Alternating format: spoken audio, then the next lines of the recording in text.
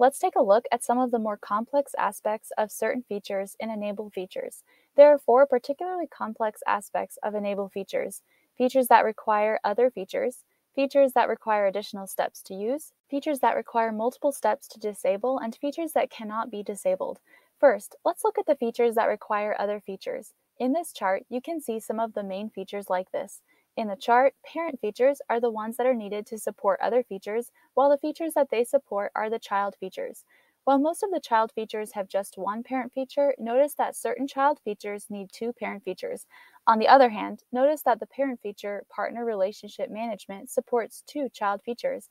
Another interesting parent-child feature relationship that is not on the chart is with the child feature approval routing. In order to use approval routing, you would need to enable both purchase orders and either purchase requests or expense reports.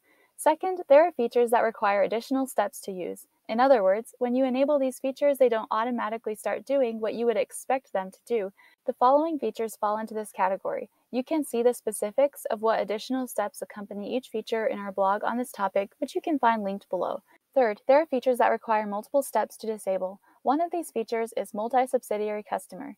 According to SuiteAnswers, in order to disable this feature, you would have to reverse or delete all transactions related to customers and their secondary subsidiaries, and remove all secondary subsidiaries from customer records.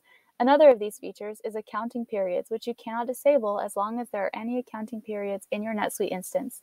Multiple calendars, which is only available in OneWorld, can be disabled only if you have not assigned any new fiscal calendars to subsidiaries, and if you have been using the feature Extended Accounting Period Close Process then you would need to make sure that all accounting periods have the same period close status and that all period closing tasks in the primary and secondary accounting books, all accounting books, have the same closing status in order to disable it.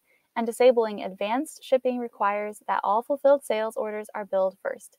Finally, there are features that simply cannot be disabled once you have used them. The main features that fall under this category include multiple currencies, dynamic allocation, statistical accounts, and advanced taxes. Another of these features is multi-location inventory, although this feature is unique in that it could actually be disabled, just not by the NetSuite administrator at your company. The only way to disable this feature is by contacting NetSuite customer support.